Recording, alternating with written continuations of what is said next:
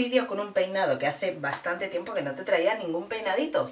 Si recuerdas, este es el look que llevé a la gala de los premios Bitácoras de 2014. Había dejado pendiente explicarte todo el proceso de cómo se hace este peinado y hoy por fin aquí lo tienes. Así que si quieres aprender cómo se hace este peinado, que es muy sencillo, quédate a verlo. Empieza haciendo una separación en horizontal de oreja a oreja y recoge la parte delantera con unas pinzas.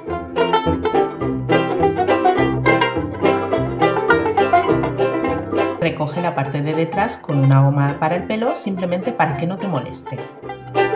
Suelta la parte delantera del pelo y haz una primera separación para preparar el primer flat twist.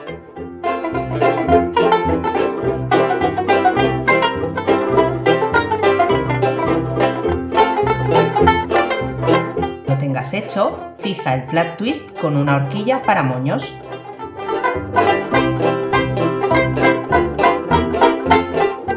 Prepara la sección para tu siguiente twist y fíjalo con otra horquilla. Haz lo mismo en el resto de la cabeza.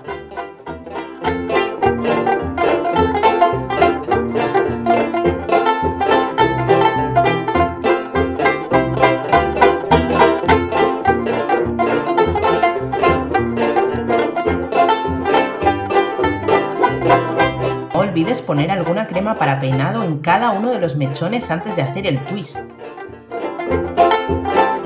Ahora vamos a trabajar la parte de detrás, así que quitaremos la goma del pelo. Con tu cepillo preferido puede ser un Denman como este, un Tangle Teaser o incluso un cepillo de cerdas de jabalí. Recoge todos los flat twist y fíjalos con varias horquillas.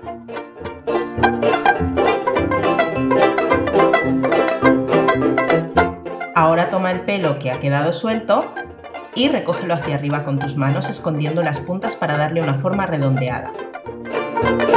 Asegura todas las puntas con tantas horquillas para moño como necesites.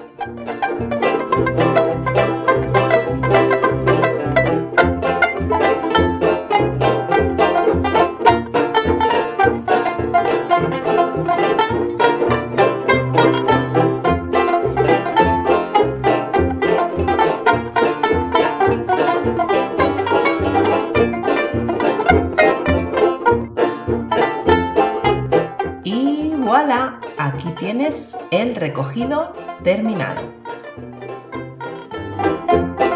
Aquí termina el vídeo de hoy, si te ha gustado ya sabes, dedito arriba y por favor compártelo.